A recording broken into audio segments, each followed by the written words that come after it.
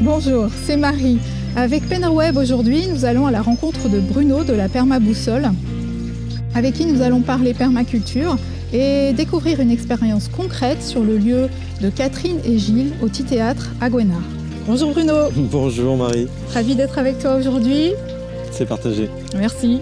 Euh, voilà, alors est-ce que tu peux nous présenter un petit peu euh, la permaboussole, qui tu es, et puis quelle est ta démarche en permaculture? Oui, moi je m'appelle Bruno Augrin en fait, je suis issu en fait des mouvements d'éducation populaire, en tout cas je me le revendique. J'ai exercé comme animateur enfance jeunesse pendant une quinzaine d'années en fait dans différents lieux associatifs et collectivités territoriales. Bah voilà, j'ai entamé une reconversion en fait et j'ai créé mon autre entreprise qui consiste à accompagner les gens en fait dans l'installation de, de systèmes de lieux de vie en fait et euh, pour tout simplement qu'ils qu'ils répondent à nos besoins euh, d'être humains mmh. et qu'ils soient aussi euh, bah, durables, résilients et productifs, puisque là, dans le cadre du potager, par exemple, c'est ce qui nous intéresse, de produire notre nourriture.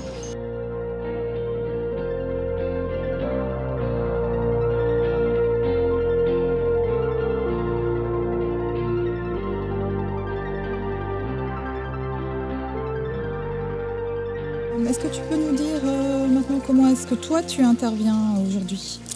Alors, ma vision de la permaculture, parce que c'est de ça qu'il s'agit, en fait, euh, on dit qu'il y a autant de visions de la permaculture que de permaculteurs. Mm-hmm. Et euh, entre autres, elle est, elle est, basée en fait sur le, le cap sur la biodiversité. C'est le mm-hmm. slogan de la permaboussole, en fait, cap sur la biodiversité. nos les plantes vont consommer les nutriments dans le sol. Il faut penser à le régénérer. Mm-hmm. Donc, du coup, comment on installe en fait tous ces systèmes, en fait, euh, dans le système, j'entends les haies, j'entends un poulailler, j'entends une mare, j'entends un potager où on va vraiment euh, produire, une serre. Euh, les animaux, Gilles et Catherine, dans leur système, ont des animaux. Alors du coup, c'est le cœur même du système, puisqu'on on est autosuffisant non seulement au niveau alimentaire, mais en, en biomasse pour régénérer les sols. Donc c'est vraiment un lieu où tout ce qui a été mis en place il y a 4-5 ans porte ses fruits aujourd'hui, montre que c'est possible. Et donc euh, c'est ma mission en fait que d'accompagner les gens qui ont envie d'installer euh, d'installer ce genre de système chez hmm. eux. Toi, tu interviens sur un, lieu précis avec donc euh, des personnes qui ont un mode de vie qui, le, qui, le, qui leur est propre. Et donc tu commences comment? Alors en fait en permaculture on parle de design en permaculture. c'est un mot un peu tendance qui peut qui peut faire un petit peu voilà mais euh, mais en fait c'est juste appliquer une méthode en fait euh, d'observation mhm. déjà puisque c'est un des premiers principes de la permaculture d'observer en fait euh, les conditions climatiques qu'on va voir autour les microclimats les poches de gel les, les pentes, les expositions au soleil, euh, les zones d'ombre, euh, voilà, collecter en fait tout un tas de données en fait sur le terrain. Donc ça, c'est vrai que ça peut prendre un peu de temps parce que l'idéal est quand même d'attendre au moins une année, de vivre les quatre saisons pour observer le, même paysage à différentes saisons. Et puis on va partir euh, surtout des, ressources qu'on a du coup sur le terrain et qui vont permettre de répondre aux désirs des personnes qui souhaitent réfléchir sur l'aménagement de leur lieu de vie. Quoi. Mmh. Et, et, à partir de là, on va se projeter en fait et planifier euh, les différents éléments du système sur une carte et, euh, et puis euh, bah, prévoir un petit peu l'avenir aussi, se projeter un petit peu dans le temps mhm. et du coup voir aussi bah, ce que ça va représenter en travail. Donc l'idée étant d'économiser de l'énergie humaine aussi. En application concrète de la permaculture sur le lieu, on a par exemple les associations de plantes entre elles.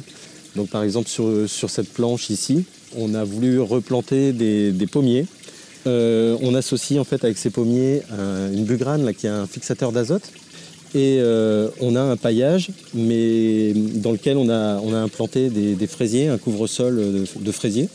Donc du coup, c'est des solutions alternatives en fait. Quand on n'a pas, par exemple là, on a la chance d'avoir les animaux en plus, mais quand on n'a pas les animaux, on peut, par les variétés végétales qu'on sélectionne, apporter aussi des nutriments dans le sol. Mmh. On a des exemples des Kiol Garden, des Kiol Garden en fait, qui sont des, des modèles de jardins dits auto-fertiles.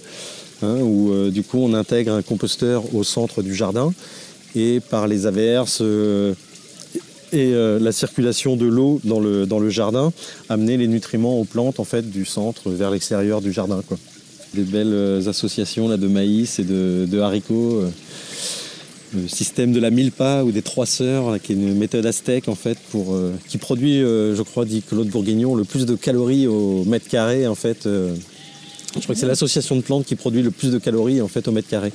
Et que l'être humain, le, comment il dit ça, que la seule difficulté enfin, qu'a rencontré l'agriculture moderne, en fait, c'est de ne pas pouvoir ramasser tous les légumes avec la même machine. En fait. Et donc on propose des visites tous les dimanches après-midi de 14h30 à 17h30 où on découvre en fait la méthode de design en permaculture au travers de l'exemple qui a été appliqué sur la ferme de Gilles et Catherine.